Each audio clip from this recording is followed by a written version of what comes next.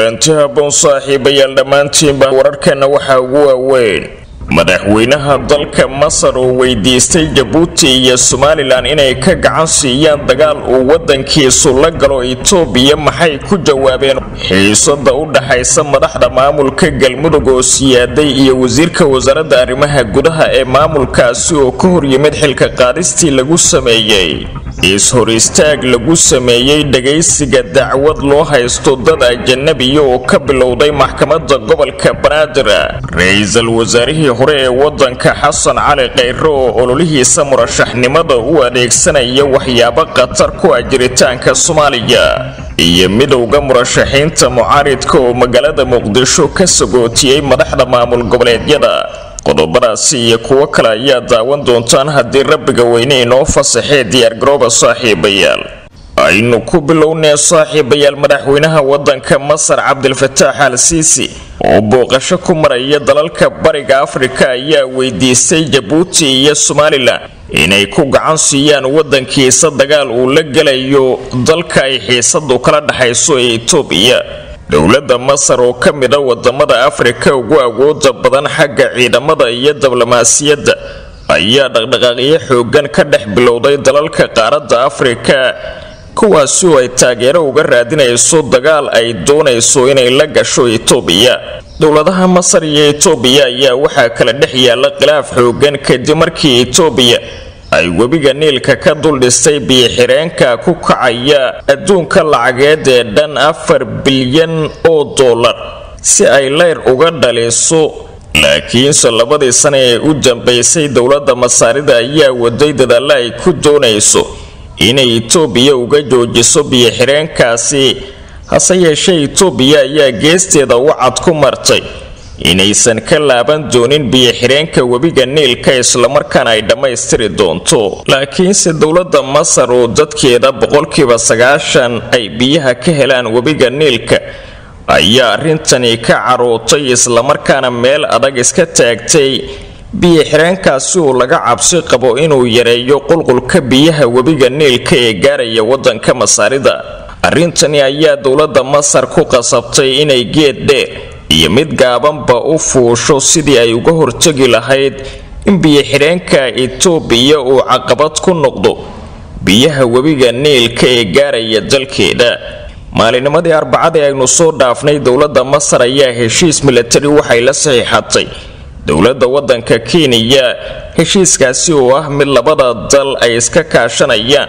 dhinacyada milatariga inkastoo heshiiskaasi uu ahaa mid qarsoodiya oo aan la soo bandhigin. Maalinimadii khamiista ee xigtayna dalka jabuuti waxaa safar ku tegay. Madaxweynaha wadanka masar cabdilfataax al siisi waxaana halkaasi uu kula kulmay dhiiggiisa dalka jabuuti ismaaciil cumar geele. Xoga ay tabiyeen warbaahinta bariga afrika iyo tan gudaha dalka masar waxay sheegayaan in madaxweyne cabdilfataax al siisi uu kala hadlay dhigiisa jabuuti sidii uga gacan siin lahaa duulaan kama dambaysa oo dowladda dalkiisu ay doonayso inay itoobiya kaga xorayso biyo-xidheenka webiga niilka si loo badbaadiyo shacabka wadanka masar. Wadahadallada ay magaalada jabuuti ku yeesheen ismaaciil cumar geelle iyo madaxweynaha dalka masar waxaa sidoo kale ka qayb galay wakiilo ka socday somalilan oo uu ku jiro wakiilka een somalilan u fadhiya dalka jabuuti iyo xubno kale oo ka tegay magaalada hargeysa.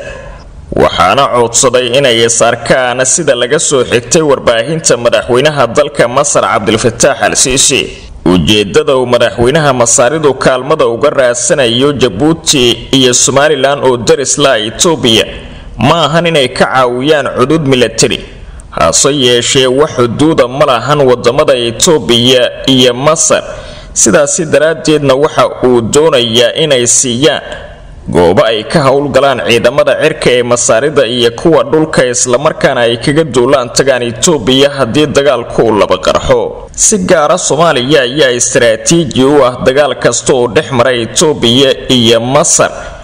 maadaama halka ay iska geli karaan amase ay fooda iska dari karaan labada ciidan ay tahay halkaasi.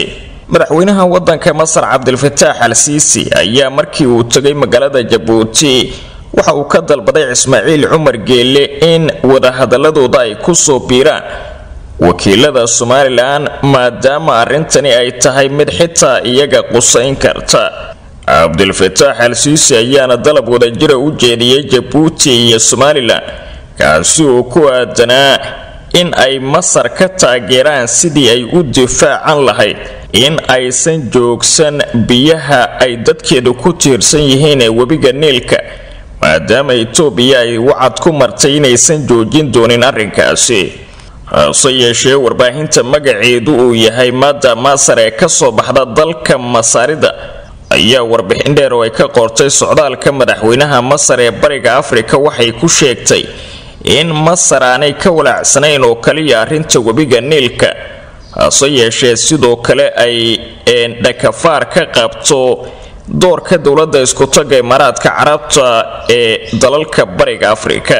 Warbaahintani waxay sheegtay in dowladda masar ay indhaha ka qarsan laadahay awoodda imaaraadka ee ku sii fidaysa dalalka bariga afrika si gaara somalilan oo ay xoojinayso saldhigyadeeda milatariga iyo galaangalka ay ku leedahay. Warbaahinta ayaa warbixinteeda ku tiri masar waxa ay si aad ah uga walaacday doorka dowladda imaaraadka oo noqday quwad weyn oo awood leh islamarkaana saldhigyo ciidan ku leh. Barbara oo somalilana boosaaso oo soomaaliya ah iyo dhowr dekadood oo ku yaalla dalka yeman halkaasi oo ay ka barbar dagaalameen. Xulafada uu sacuudigu hogaaminayo tan iyo sannadkii labadii kun toban iyo shantii. Warbixinta warbaahintani dalka masar waxay intaasi ku dartay in masar ay ka walaacsan tahay in imaaraadku hormuud ka yahay tartanka loogu jiro badda cas sidoo kalena uu yahay aasaasaha iskaashiga amniga ee badda cas waxaana ay tilmaamtay in socdaalka madaxweyne cabdilfataax al siisi ay qeyb ka tahay sidoo kale dadaalla looga hortegayo ku faafitaanka dowladda iskutaga imaaraadka carabta ee bariga afrika. Waxaana warbaahintu ay sheegtay in arrintaasi uu kala hadlay madaxweynaha dalka masar cabdilfataax al siisi wakiilo ka socda somalilan iyo madaxweynaha dalka jabuuti ismaaciil cumar geele xiisada u dhaxaysa madaxda maamulka galmudug ayaa sii siyaaday tan iyo markii madaxweyne ku-xigeenka maamulkaasi cali ciid uu xilka qaadis degdega ku sameeyey wasiirkii wasaaradda arrimaha gudaha ee maamulkaasi cabdi waayeel. Xilka qaadista uu madaxweyne ku-xigeenka maamulka galmudug ku sameeyey wasiirka wasaaradda arrimaha gudaha ee maamulka galmudug ayaa timid kadib khilaaf xoogan oo ka dhashay dhismaha golayaasha deegaanka ee degmooyinka maamulka galmudug iyadoo haatan xiisadaasi ay si gaara uga jidhay degmada balambal ee gobolka galgaduud. Wasiirka wasaaradda arrimaha gudaha ee maamulka galmudug oo xilka qaadista ku sameeyey madaxweyne ku-xigeenka maamulka galmudug cabdi maxamed jaamac cabdiwaayeel ayaana sharci darra ku tilmaamay tallaabada xilka looga qaaday isaga. Cabdiwaayeel oo waraysi siiyey warbaahinta ayaa sheegay in sharciga u yaalla galmudug uu qorayo in madaxweyne ku-xigeenku uusan awood u lahayn in uu xilka ka qaado wasiir ka tirsan maamulka hase yeeshee waxa uu qiray in uu shaqa joojin uun ku samayn karayo. Waxa uu tilmaamay in madaxweyne ku-xigeenku uu shaqa joojin leeyahay laakiinse xilka qaadis aanu awood u lahayn waxaana uu sheegay inuu aaminsan yahay in sharciga ka dhaxeeya madaxda maamulka galmudug uu yahay dastuurka islamarkaana kaasi ay tahay in la raaco. Waxa uu sheegay in arrinta golaha deegaanka degmada balambal laga faafiyey warar been abuura balse ka wasaarad ahaan ay u arkaan in sidii ugu habboonayd ay u soo dhisteen xubnaha golaha deegaanka ee degmadaasi balambal sidoo kale cabdiwaayeel ayaa sheegay in madaxweyne qoorqoor uusan soo saarin amar lagu joojinayo dhismaha golaha deegaanka ee balambal xilli saacadihii la soo dhaafay ay soo baxayeen warar sheegaya in wasiir cabdiwaayeel uu dhagaha ka furaystay amar uu madaxweyne qoorqoor ku joojiyey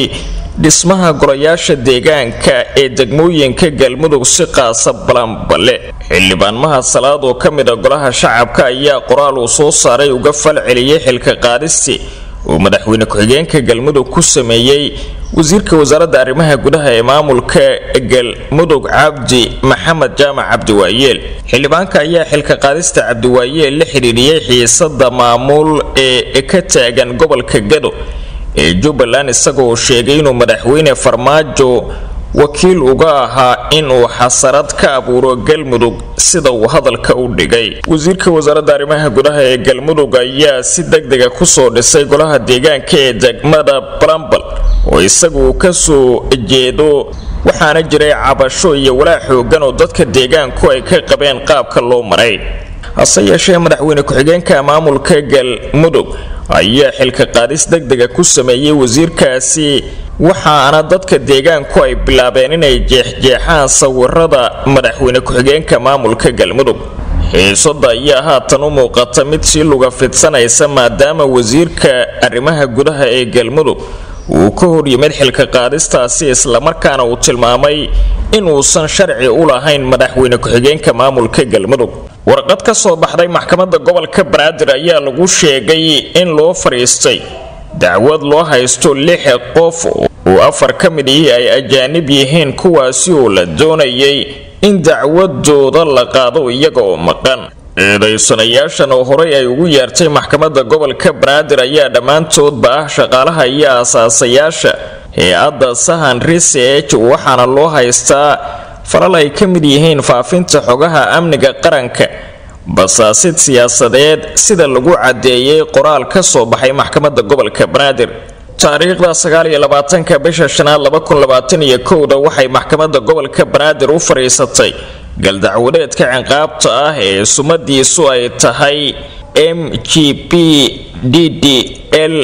boqoltoddobaataniyo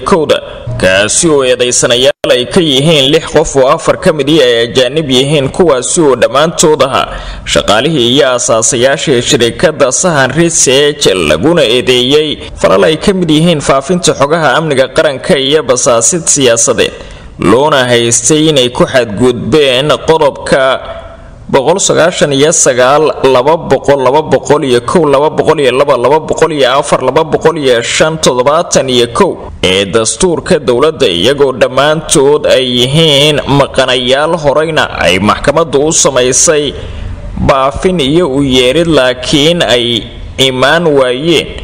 maxkamaddu ay u qabatay qareenno difaaca eedaysanayaasha ayaa lagu yidhi qoraalka maxkamadda. Markii ay maxkamaddu bilowday dhagaysiga dacwadda eedaysanayaashaas oo xafiiska xeerilaalinta guud u soo jeediyey waxaa eedaymihii loo jeediyey lixdaasi qof ishor istaagay qareenno u doodayay. Waxayna maxkamaddu ballan qaaday in ay qaraar ka soo saari doonto ishor istaagga qareennada qareennadu waxa ay keeneen fadhigii is-hor istaag ka dhana. Xaashida eedda sidoo kalena xafiiska xeerilaalyaha guud ee qaranka. Waxa uu ka jawaabay is-hor istaagaasi maxkamaduna waxa ay ku soo afmeertay. Fadhigani in qaraar ay ka soo saarayso si is-hor istaagaasi ay keeneen qareennada difaacaya eedaysanayaasha oo lagu yidhi qoraalka maxkamadda gobolka banaadir. Shirikada sahan research oo horey looga mamnuucay inay soomaaliya ka shaqayso ayaa ka dhaga adagtay go'aankaasi taasi oo keentay in maxkamadda gobolka banaadir ay u yeerto shaqaalaha shirikadani uu fadhigeeda ugu weyn uu yahay magaalada nairobi ee xarunta wadanka kenya. Eedaysanayaasha ay haysato maxkamadda gobolka banaadir waxaa ka mid a mat brayton oo ah madaxa guud ee shirikada sahan rise kaasi oo lagu eedeeyey inuu howlo basaasnimaa ka waday gudaha wadanka soomaaliya. Labadii kun toban iyo sideedii ayaa dowladda soomaaliya ay ka mamnuucday wadanka inay ka sii shaqayso shirikadaasi kadib markii lagu helay in ay faafinaysay xogaha amniga qaranka. Sidoo kalena warar been abuur ay u kala gudbanaysay hay'adaha dowladda. Hay'adani fadhigeeda ugu weyn waxa uu yahay magaalada nairobi iyadoo xiriir dhowna la leh dowladda kenya sida la qiyaasayna dowladda soomaaliya ay xilligaasi ka urisay kenya oo ahayd wakhtigii uu xumaanayay xiriirka labada wadan. Waa hagaag een ra'iisul wasaarihii hore ee wadanka soomaaliya mudane xasan cali khayre oo xilligani ka mid a murashaxiinta u taagan doorashooyinka da ee lagu ballamay inay lixdanka cisho ee soo aadan ka qabsoomaan wadanka. Ayaa xilligani ololihiisa doorashada u adeegsanaya waxyaabo khatar kuwa dalka iyo dadka soomaaliyeed. Ra'iisul wasaarihii hore ee soomaaliya xasan cali khayre ayaa dhowaan kulan qarsoodiya oo laga qariyay saaxiibadiisa gaarka waxa uu la yeeshay safiirka dowladda iiraan u jooga wadanka kenya sida loo xaqiijiyey warbaahinta kulanka uu kayra la qaatay goor sii horeysay safiirka dalka iiraan doctor jafaar marmaki ayaa waxa uu ahaa mid uu codsaday. Ra'iisul wasaarihii hore ee soomaaliya xasan cali khayre oo haatanna ah murashax u taagan doorashooyinka soo aadan warbaahinta ayaa heshay xog rasmiya oo ku saabsan kulanka xasan cali khayre la qaatay safiirka dowladda iiraan waxaana uu ka codsaday dalka iiraan in ay siiyaan kaalmo dhaqaale iyo mid siyaasadeed oo uga qayb galo islamarkaana ugu guulaysto doorashooyinka soo aadan ee soomaaliya. Xasan cali khayre ayaa ka dalbaday safiirka dowladda iiraan u fadhiya magaalada nairobi inuu xilligani u baahan yahay kaalmo dhaqaale iyo mid siyaasadeed si uu ugu guulaysto doorashooyinka soo aadan ee soomaaliya islamarkaana uu u fuliyo danaha dowladda iiraan ee soomaaliya. Xasan cali khayre ayaa sidoo kale u sheegay safiirka dowladda iiraan inuu xiriirka iiraan dib u soo celin doono muddo saddex bilood gudahooda islamarkaana uu si buuxda u fasixi doono hay'adda imaam khumeyni foundation. Ayna ka howlgeli doonto soomaaliya hay'addaasi oo mar hore laga mamnuucay dalka iiraan ayaa in muddo ah waxay doonaysay inay dalka soomaaliya ku fidiso caqiidada shiicada ee laga aaminsan yahay dalkaasi iyada oo dalka ka furtay masaajido dhallinyaro badanna ay ka bixisay dhaqaalaha guurka waxaana hay'addaasi laga cayriyey wadanka iyo guud ahaanba iiraan xilligii dowladii xasan sheekh maxamuud kadib markii laga warhelay faafinta caqiidooyinkii ay ka wado magaalooyin badan oo ku yaalla soomaaliya oo ay ka mid tahay magaalada caasimada ah ee muqdisho. Hay'adani loogu magacdaray hogaamiyaha sare ee iiraan imaam khumeyni foundation ayaa meelo badan oo dunida waxay ka wadaa fidinta caqiidada shiicada ee laga aaminsan yahay dalka iiraan waxaana soomaaliya ay si adag uga hortimid xilligii dowladii xasan sheekh maxamuud markii laga war helay waxyaabaha ay ka wado dalka gudihiisa hay'addaasi intaasi wixii ka dambeeyey ma wanaagsanayn xidhiirka soomaaliya iyo iiraan maadaama dowladda federaalka ee soomaaliya ay ka dooratay saaxiibtinimada iiraan inaan lagu dhex faafin diinta si aan saxda ahayn. Hase yeeshee ra'iisul wasaarihii hore ee soomaaliya xasan cali khayre ayaa haatan u ballan qaaday safiirka dowladda iiraan u fadhiya kenya in haddii xukuumadda ticraan ay bixiso dhaqaalaha uu ku imaanaya kursiga islamarkaana ay siiso la talin siyaasadeed uu dib u soo celin doono xiriirka iiraan iyo hay'addaasi uu ka sii howlgali doonto gudaha soomaaliya. Xogaha ay heshay warbaahinta laguma cadaynin hadalcelinta ee wakiilka dowladda iiraan ee kenya ee la xidhiidha inuu aqbalay soo jeedinta xasan cali khayre ee ku socota dowladda waddanka iiraan khayre oo horey safar ugu tegay dalka raashiya ayaa waxa uu u muuqdaa mid taageero ka raadinaya dal kasta oo u arko inuu kaalmo ka helayo. Isagoo marnaba aan xeerinaynin ama aan ka fakaraynin danaha dadka iyo dalka soomaaliyeed oo markaasi uu mas'uul ka noqonayo haddii uu ku guulaysto doorashooyinka uu u tartamayo midowda murashaxiinta mucaaridka ayaa munaasabad sagootin iyo bogaadina ugu sameeyey hoteelka jasiira ee magaalada muqdisho. Madaxweynayaasha shanta maamul goboleed ee ka qayb ahaa heshiiskii doorashooyinka ee lagu saxiixay shirweynihii wadatashiga qaranka toddobiyo labaatankii bishani. Madaxda ku kulantay hotel jasiira ayaa cashada kadib waxaa halkaasi ku dhex maray kulamo kala duwan iyo wada sheekaysi la xidhiidha xaaladihii la soo maray iyo arrimaha siyaasadda ee dalka iyadoo sidoo kalena la isla soo hadal qaaday waxyaabaha mustaqbalka soo aada si gaara inta lagu guda jiro doorashooyinkani da midowda murashaxiinta mucaaridka iyo madaxda maamul goboleedyada ayaana isla qaatay in laga sii wada shaqeeyo horumarinta mustaqbalka waddanka soomaaliya si gaara doorashooyinkani sidii aysan uga hor imaan lahayn. Caqabado kale oo keeni karaa inuu burburo heshiiskii ugu dambeeyey ee madaxda wadatashiga qaran ay ku galeen magaalada muqdisho doorashaduna ay dib u sii dhacdo. Wararkii ugu dambeeyey ee soomaalida iyo caalamka waa naga intaasi nabadgelyo